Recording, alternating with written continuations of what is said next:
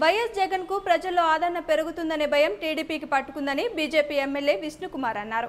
పుట్టినరోజు నాడైనా చంద్రబాబు నిజాలు మాట్లాడితే బాగుండేదని ఆయన హితవు పలికారు. విశాఖలో మీడియాతో మాట్లాడుతూ ఆనాడు ప్యాకేజీ ఒప్పుకుంది చంద్రబాబు కాదా అని ప్రశ్నించారు. చంద్రబాబు చెప్పినవన్నీ అబద్ధాలే అని ఎమ్మెల్యే మండిపడ్డారు. కొందరి డైరెక్షన్లో బాబు నడుస్తున్నారు. టీడీపీ కేవలం ఫ్యామిలీ పార్టీ మాత్రమే అని బీజేపీ ఎమ్మెల్యే ఎద్దేవా చేశారు. బాలకృష్ణ వ్యాఖ్యలతో ఆయన తండ్రి ఎన్టీఆర్ ఆత్మ క్షోభిస్తుందని అన్నారు. ప్రస్తుతం రాష్ట్రంలో పరిస్థితులు చాలా దారుణంగా ఉన్నాయని అన్నారు. ఏడాదిలో విశాఖకు ఖచ్చితంగా రైల్వే జోన్ వస్తుందని ఎమ్మెల్యే తెలిపారు. రెండు వేల పంతొమ్మిది ఎన్నికల్లో బీజేపీ అధికారంలోకి రావడం ఖాయమని ఎమ్మెల్యే విష్ణుకుమార్ రాజు విశ్వాసం వ్యక్తం చేశారు. ఈరోజు గౌరవ ముఖ్యమంత్రి నారా చంద్రబాబు నాయుడు గారు పుట్టినరోజు. వారికి నేను శుభాకాంక్షలు కూడా తెలియజేశాను ఉదయం టీవీల ద్వారా.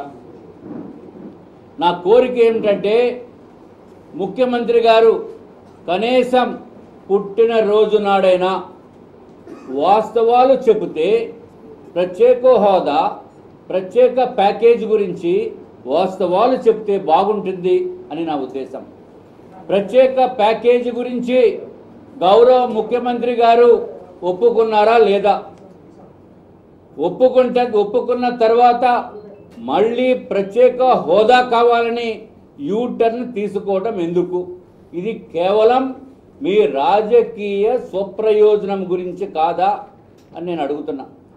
ఏదైతే ప్రత్యేక హోదా అది పదహారు వేల కోట్ల రూపాయలకి సుమారుగా ఈక్వెవలెంట్గా ఉంది.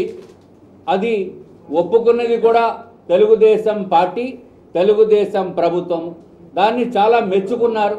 మళ్ళీ మీ స్వప్రయోజనాల గురించి ప్రజల్లో జగన్మోహన్ రెడ్డి చాలా ఎక్కువగా దూసుకుపోతున్నాడేమో అనేది ఒక భయంతో మీరు మళ్ళీ ఈ యూటర్న్ తీసుకుని ప్రజల్ని ఒక మభ్యపెట్టి మళ్ళీ ఈ స్పెషల్ దీక్షలు ఇవాళ కూర్చొని చేయటం అనేది చాలా దారుణం.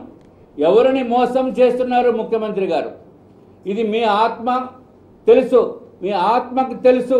ప్రత్యేక ప్యాకేజీలో పూర్తిగా ప్రత్యేక హోదా ఇస్తే ఏ విధమైన ఆర్థిక పరమైన లాభం వస్తుందో అది మొత్తము కూడా ప్రత్యేక ప్యాకేజీలో వస్తుంది. అయినప్పటికీ కూడా మీరు ఈ విధంగా చేయటం అనేది కరెక్ట్ కాదు. తర్వాత ఇతర రాష్ట్రాలకి కూడా ప్రత్యేక హోదా పొడిగించారు అని చెప్పి ప్రజల్ని మభ్యపెడుతున్నారు. ఈ దేశంలో ఇప్పుడు ఏ రాష్ట్రానికి కూడా ప్రత్యేక హోదా లేదు. కనీసం పుట్టినరోజు నాడైనా ఈ ఒక్క మాటన చెప్పండి. కనీసం ప్రజలకి ఒక్కటి మం ఒక్కటి నిజము చెప్పవలసిందిగా మిమ్మల్ని కోరుతున్నాం. అంతేగాని ప్రజల్ని మభ్య పెట్టడం అనేది ఇది మంచి పని కాదు. పెద్ద ఆయన మీకు తెలుసు. అయినప్పటికీ కూడా మీ దగ్గర ఉన్న డైరెక్టర్స్ ఎవరైతే ఉన్నారో వాళ్ళు డైరెక్షన్లో వెళ్ళిపోతున్నారు గౌరవ ముఖ్యమంత్రి గారు.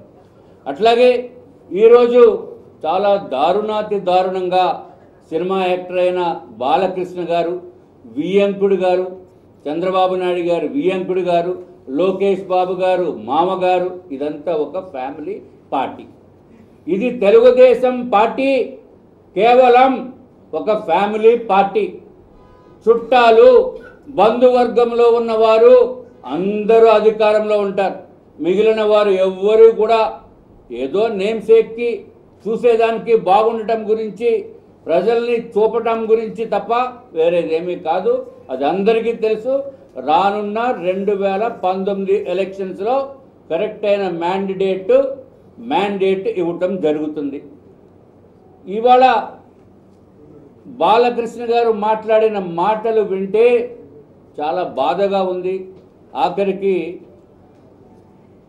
గౌరవ మాజీ ముఖ్యమంత్రి బాలకృష్ణ గారు తండ్రి గారైన నందమూరి తారక రామారావు గారు ఆత్మ కూడా శోభిస్తుంది బాలకృష్ణ గారు చెప్తారు ఇంటికి వచ్చిన వారిని గౌరవించాలని.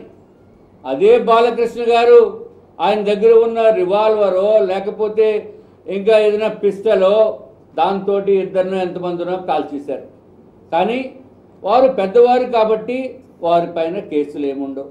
ఇప్పుడు ఏది మాట్లాడినా వారిపైన కేసులు ఏముండవు. ఎందుకంటే బాలకృష్ణ గారు పెద్దవారు అంతా ఎంతో అనుభవం ఉంది. రాజకీయంలో కూడా ఇప్పుడు అనుభవం వచ్చింది. తర్వాత బంధువర్గంలో ఉన్న వారందరూ అధికారంలో ఉన్నారు. వారు అధికారంలో ఉన్నారు. ఈ రాష్ట్రం మొత్తం వారిదే. ఈ రాష్ట్రం మొత్తం ఆంధ్ర రాష్ట్రం అంతా కూడా నాదే అని చెప్పి మన గౌరవ ముఖ్యమంత్రి గారు చెప్తున్నారు.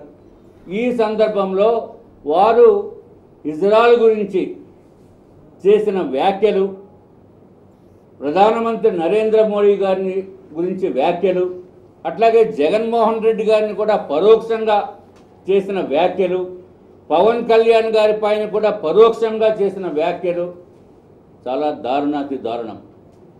మళ్ళీ దాన్ని కౌంటర్ చేయడానికి మా దగ్గర మాటలు కూడా లేవు. కాబట్టి మేము మౌనంగానే ఉంటున్నాము. అది అర్థం చేసుకోవాలి ప్రజలు. తర్వాత ప్రభుత్వం కూడా ఇలాగ నోటికి వచ్చినట్టు మాట్లాడితే యాక్షన్ ఏమైనా ఉంటుందా లేదా అనేది ప్రభుత్వానికే వదిలేస్తున్నాం. చాలామంది డిమాండ్ చేస్తున్నారు దాని మీద సరి అయిన యాక్షన్ తీసుకోవాలని. ప్రభుత్వము చట్టపరమైన యాక్షన్ తీసుకుంటే మీ నీతి నిజాయితీ కూడా ఉంటుంది.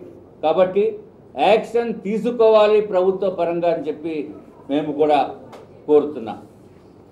పవన్ కళ్యాణ్ గారి మీద కూడా రకరకాలైన దాడులు చేసి ఎవరైతే తెలుగుదేశం పార్టీకి వ్యతిరేకంగా ఉన్నారో వారి మీద రకరకాల దాడులు చేసే కార్యక్రమం జరుగుతుంది.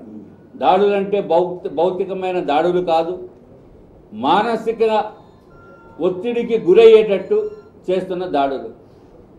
కాబట్టి ఇవన్నీ కూడా మీరు ఇటువంటి విరమించుకోకపోతే మీ పరిస్థితి ఏదైతే భారతీయ జనతా పార్టీకి ఒక్క సీటు గెలవరు అని మీరు చెప్తున్నారో మీ కుటుంబ పాలన వ్యవహారం గురించి ఈ ఆంధ్ర రాష్ట్ర ప్రజలందరికీ తెలుసు. కేవలము మీ కుటుంబం ఒక్కటే ఉంటే ఇది సరిపోదు రాజకీయాల్లో అనేది అందరికీ అర్థమవుతుంది.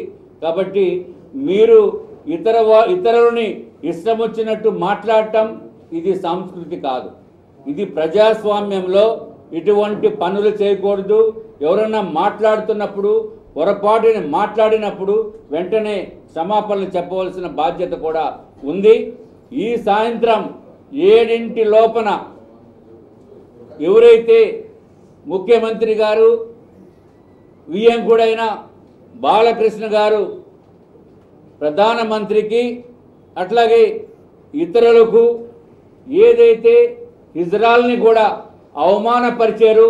వారందరికీ కూడా క్షమాపణలు చెప్తే బాగుంటుంది అని చెప్పి మీ ద్వారా నేను తెలియజేసుకుంటున్నా. ఇక నుంచి బాలకృష్ణ గారిని చూస్తే మాకు కూడా భయం వేసే పరిస్థితి వస్తుంది.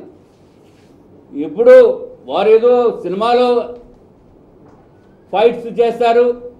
నిజ జీవితంలో ఇంటికి వెళ్తే కాలుస్తారు అని తెలుసు కానీ మాటల ద్వారా కూడా చాలా అవమానకరంగా మాట్లాడటం తెలుసు అని చెప్పి నాకు తెలియదు.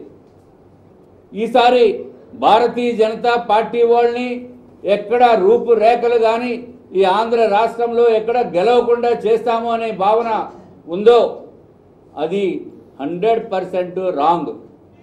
తప్పనిసరిగా భారతీయ జనతా పార్టీ మీ ఊహలకు అందినటువంటి పరిస్థితుల్లో రెండు వేల పంతొమ్మిదిలో వస్తుందని చెప్పి మరి ఒక్కసారి మీకు ఈ అందరి ద్వారా విజ్ఞప్తి చేస్తున్నాం తెలియజేస్తున్నాం. మీరు మాట్లాడేటప్పుడు ప్రతిదీ జాగ్రత్తగా మాట్లాడవలసిన అవసరం ఉంది. ఏదో బాలకృష్ణ గారు మాట్లాడితే ఏదో స్లిప్ అయిపోతారు అనేది ఒక అవగాహన ఉంది ప్రజల్లో.